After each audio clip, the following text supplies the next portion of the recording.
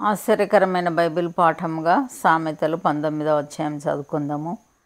బుద్ధిహీనుడై తన పెదవులతో మూర్ఖంగా మాట్లాడువాని కంటే యథార్థంగా ప్రవర్తించు దరిద్రుడే శ్రేష్ఠుడు. ఒకడు తెలివి లేకుండుట మంచిది కాదు. తొందరపడి నడుచువాడు దారి తప్పిపోవును. ఒకని మూర్ఖత వాని ప్రవర్తనను తారుమారు చేయను. అట్టివాడు హృదయమున యెహోవా మీద కోపించును. దయము ధ- ధనము గలవానికి స్నేహితులు అధికంగా నుందురు. దరిద్రుడు తన స్నేహితులను పోగొట్టుకొనును. కూట సాక్షి శిక్ష నొందకపోడు. అబద్ధంలాడువాడు తప్పించుకొనడు. అనేకులు గొప్పవారి కటాక్షము వెదకుదురు.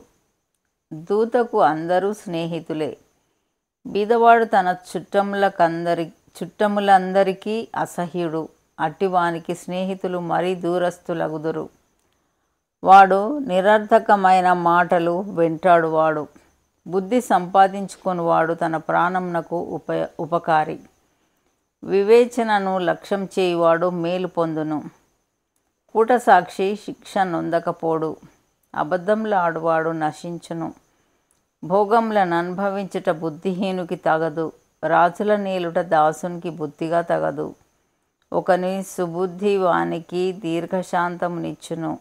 తప్పులు క్షమించుట అట్టివానికి ఘనతనిచ్చును. రాజు కోపము సింహ గర్జన వంటిది. అతని కటాక్షము గడ్డి మీద కురియు మన్ మంచు వంటిది. బుద్ధిహీనుడగు కుమారుడు తన తండ్రికి చేడు తెచ్చును. భార్య తోడి పోరు ఎడతేక పడుచుండు బిందువులతో సమానము. గృహమును విత్తమును పితరులిచ్చిన స్వాస్థ్యము సుబుద్ధి గల భార్య దేహోవా యొక్క దానము. సోమరితనము గాఢ నిద్రలో పడవేయును. సోమరివాడు పస్తు పడియుండును ఆజ్ఞను గైకొనువాడు తను కాపాడుకొనువాడు.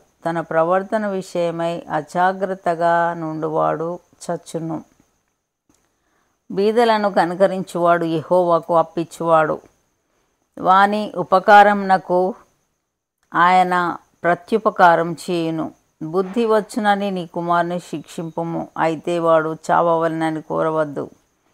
మహాకోపి అగువాడు దండన తప్పించుకొనడు. వాని తప్పించినను వాడు మరలా కోపించుచునే ఉండును. నీవు ముందుకు జ్ఞానివగుటకై ఆలోచన విని ఉపదేశము అంగీకరించుము. నరుని హృదయంలో ఆలోచనలు అనేకములుగా పుట్టును. ఎహోవా యొక్క తీర్మానమే స్థిరము. కృపచూపుట నరుని పర నరుని పరులకు ప్రియునిగా చేయును. అబద్ధికుని కంటే దరిద్రుడే మేలు. యెహోవైందు భయభక్తులు కలిగి ఉండుట జీవ సాధనము అది కలిగిన వాడు తృప్తుడై అపాయం లేకుండా బ్రతుకును. సోమరి పాత్రలో చెయ్యి ముంచునే గాని తన నోటికి దాని తిరిగి ఎత్తనైనా ఎత్తడు. అపహాసకులు చెప్పబడగా చూచి జ్ఞానం లేని వారు జ్ఞానము నొందుదురు.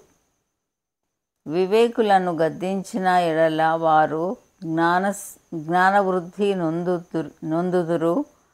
తండ్రికి కీడు చేసి తల్లిని తరిమివేయువాడు అవమానమును అపకీర్తిని కలగచేయువాడు. నా కుమారుడా తెలివి పుట్టించు మాటలు నీవు మీరగోరితివా?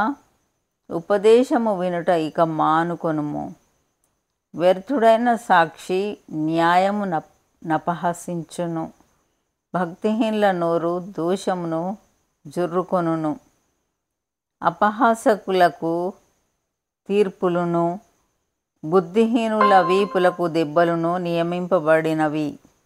ఇంతటితో ఇది కొరకైన బైబిల్ పాఠం సరి.